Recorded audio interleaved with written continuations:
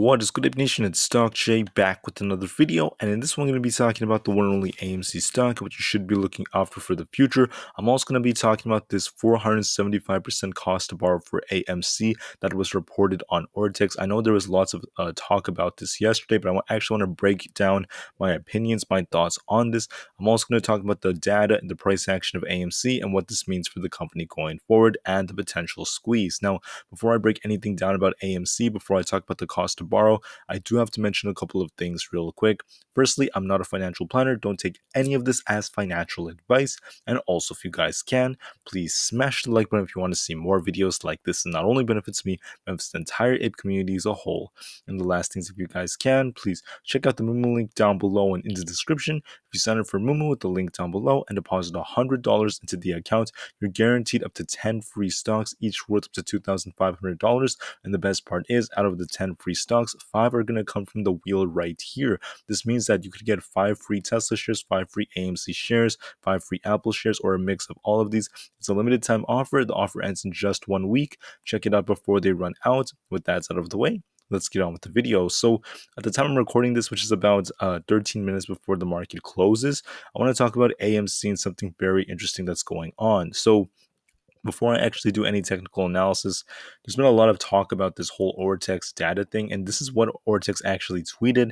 And many people that were looking at Ortex saw something absolutely insane, and that is yes, AMC's cost to borrow, max, appears to have spiked from 24.58% to 475.7% a little while ago. A few things to remember though is a stock loan for one share can theoretically set the cost to borrow max slash min, which is why the cost to borrow average is very important. The cost to borrow average for AMC is much lower at 16.47%, right? And I think there is some more replies right here. Ortex stated that stock loans can subsequently uh, be canceled or closed or unfulfilled. If this occurs, that cost to borrow data point is removed, right? And they're open, the lending markets are open 24 7, even if the US markets are closed. So I want to actually now break this down. Okay, what does this actually mean? Well, this person right here, the boss blunts, actually mentioned something that's actually true, and I actually agree with his point here. One share at that cost to borrow is proof of the desperation he is correct about that, right? Even if it is one share, that just shows the crazy desperation. But I want to remind you that there's a clear distinction between the average cost to borrow and the max cost to borrow. We don't know exactly how many people were borrowing, you know, AMC for this maximum price. We don't know, you know, how many times this is going to happen again because right now it appears this was not a glitch. Now, could the data be manipulated? Sure, but to, in my opinion, this isn't just some sort of fake number. Someone most likely borrowed an AMC share with such a high price. And it doesn't make sense for the fee to be that expensive when you have other people loaning out all these fake shares for like a 16% fee. So maybe the data is just manipulated in a way where they make it seem like they have all this firepower when they actually don't. And some short sellers, not all of them, are really, really desperate. So that was a good point brought up by the boss blunts. And I also want to add something else to it. So when you look at the amount of shares available to borrow, currently it's at 700,000. And they were just printing out tons and tons of these fake shares that they could essentially use to short AMC. Now, I don't see any gamma potential right now, but I am seeing the same old dirty tactics over and over again. And because they're borrowing all these shares to bring AMC down, the overall cost to borrow is starting to drop again. So if you look at the Ortex data, let me show you the Ortex data real quick. We could see, looking at the cost to borrow, Currently, it's at like 16.27% is the average, right? If I actually go this way, we could see the max is at 17.61%, so it did end up going down. The average is a little lower at 15.45%. The min, whoops, sorry, let me keep this here. The minimum is still at 12 uh, 51%. So lots and lots of manipulation trying to bring it down. But at the end of the day, all you're doing is kicking a can down the road as long as we don't sell and give up. Now, because they keep doing this, something that does not make sense though is the short interest is starting to go down. And it doesn't make sense for that to be reported because you have to consider the fact that shorts haven't covered that many of their shares. They're not covering to the degree people think. Every day, a couple shares will be covered and a couple new short positions are created. But I, I, I just don't think this data makes any sense because the share price has been dropping, yet I mean, short interest drops too with it. it. It just doesn't make any sense. The data is just crazy. I do believe the true short interest, if you don't account for the manipulation, I mean, if you do account for it and all these things going on, it could be much higher. I'm talking about 50, 60, a, a thousand percent very, very high numbers like that. So iBorrow Desk is showing something else very consistent with what Ortex is showing. Lots of shares are available, and the fee is now going down as well because they're just suppressing it over again. But overall, we're still near the highest we've seen the cost to borrow since before the May run up. I'm sorry, the, the June run up of 2021. So that still is a good sign. So I really hope this keeps up. And I do think eventually some good things will come. Now, from a technical aspect, things are becoming very interesting. Okay, let me actually zoom in and show you something cool. Actually, let me start off with this, then I'm going to show you something cool. So, I'm I've been talking about how the moves AMC is making tend to be very similar to the moves the pattern AMC followed before the big run up back in June of 2021. I'm not going to go into the full details, but I want to talk about something else. So, when I talked about this is basically the pattern before the big run up right here where my cursor is. So, all the way here, AMC goes up to like 72 bucks. But before we started that, we had this pattern which we've been following. And I've theorized that we might be like in this state right here. See how we had the nice spike to the 0.236 retracement zone right here from a Fibonacci perspective. Then we dropped down to around that 0.618. Now, the thing is, no two run-ups are going to have the exact same pattern. If we look at this in real time, once this loads, you'll notice we had a nice push up to the 0.236. See, look at this. 0.236 is where we ran up to back then before we got a rejection, then a big push up forming this cup. And then right here, we, we ran up, we touched the 0.236. Now we're dropping down to the 0.618.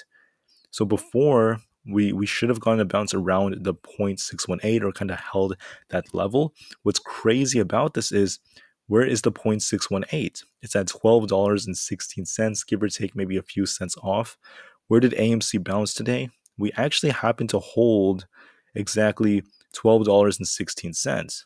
So I know it's a little hard to see, see the tiny number right here. I can actually pull up the five minute chart to show you. So far, we're holding the $12 and 16 cent range. We bounced exactly where this line was that I drew out yesterday. So the real question is, are we ready to just bounce or could we continue to drop a little bit further? And there is something I want to show you. Let me pull up the 30 minute candles right here. So what what essentially happens is AMC could also form a double bottom here. So our double bottom could even bring us down to $11.44. We don't have to follow this exactly perfectly because you'll notice we do have a slight double bottom here as well. So to me personally, okay, obviously the 0.618 zone is kind of like a demand zone. AMC could go a little lower to around the 11s, okay, 11.8, 11.44. We need to see a bounce right there. We need to see AMC hold this range for the next couple of days. We need to see that. And then we need to get a bounce from that cup that I was talking about, the cup which would be from like right here. A nice cup taking us back to 16. So I want to see this thing bounce off 11.4 around there around that range that would be very healthy. And the lowest we could possibly go which wouldn't wouldn't be good would be maybe 11.1 but i really hope we get a bounce around there maybe earlier. And once we get a bounce we got to start that curl start that nice nice nice reversal and that should form the cup. If it does that that's going to be fantastic. That would be a very keen indication this thing is going to explode. But if it doesn't do that, if it drops below 11, then the theory is kind of out of the water. That's not supposed to happen. I just want to prepare you for that. What's interesting is today we had a red day. The market was red for a good chunk of time. I, I think near the end, the SPY is getting closer to like breaking even or being green. AMC, however, I mean, it's only down like 1.4%, 1.5%. And I theorize it might be because we're very close to that demand zone, that area where we're supposed to bounce according to the algos. If the algos can't keep uh, $12.16, if they can't keep that up, it could go as low as 11.44 and still be fine. We need to see a bounce. We need to see it hold this range. We need to see it trade sideways for a few days. If it does that, it's still following this pattern then we should get a nice reversal relatively soon. So that's just what I'm theorizing, right? I can't promise that I'm going to be correct, but overall, still following the pattern. It's still looking pretty strong. So the last thing to really do in this video, let me actually close this Fibonacci retracement. Let's just look at the Bollinger Bands, all right? Because what you're noticing is the volatility is just dying in AMC. AMC is not as volatile as before, and you could see that before any major run up, we see the bands get really tight, right? Like right here, they were tight, they expanded. They got really tight right here, then they expanded. Right here, they got kind of tight and we got a slight expansion. And right here, they're still very tight. This means that we, we're going to break out in either direction. We might just crash back down or we might explode all the way to, on the way up. And right now, I mean, we're already so low. I, I just think it's very, very unlikely we end up dropping down during the expansion. Seems more likely we're set for a big run. How soon? I can't determine that perfectly. I did estimate around before the end of August, but I mean, these people could try to drag this out for longer, but at the end of the day, the data points at the same thing. This thing looks really bullish, and I do think it's very likely before August ends, we might see that big run up, some very, very massive moves, as long as we continue to follow the pattern that I was talking about. So far, we're following it to a T. With that out of the way, thank you for listening. For AMC, what should you expect for tomorrow and the remainder of the week? That's basically just sideways action. Remember, 11.44 is a key zone. I want to see AMC bounce off that. At the lowest, maybe the low 11s, but we need to, we can't break below 11. If we do, that's not going to be good. And so far, we're holding up pretty strongly. So I hope this thing trades sideways for some time and starts to see a reversal. That's going to be a good sign once the time is right. We aren't necessarily there yet. Give it time. And with that out of the way, thank you for listening. So please have a good day. AMC is doing fine. Be patient, and I will see you guys in the next one. AMC to the moon, and peace out.